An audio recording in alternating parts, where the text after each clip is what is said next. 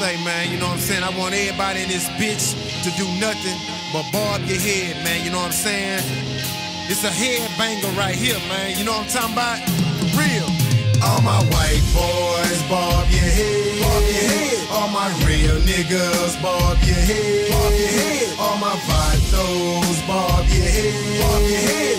And think about the ones that are dead. That are dead. All my white boys, bob your head. Bob your head. All my real niggas, bob your head. Bob your head. All my vatos, bob your head. Bob your head. And think about the ones that are dead. That are dead. One, two, three, four, five, six, seven, eight, nine to his domes in his bitch ass home. He shouldn't have been fucking with a motherfucking psycho. Psych ward niggas hit him up with the chrome. Check out the flow if you think I'm a hoe. Load up the gun while I smoke the dro. Talk shit, but it's on the low. Say it to my face and it's on for show.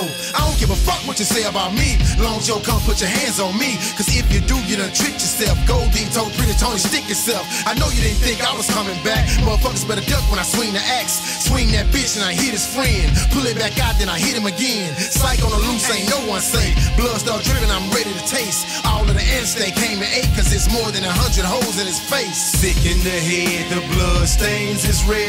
So I disfigured his leg. They need no needle and thread. They need no axe to dismember. This bitch was dead in November. Plus, they just now found this nigga on the 3rd of December. By the 4th of January, see, he has struck again. This time he used a nail gun to shoot out patches of skin.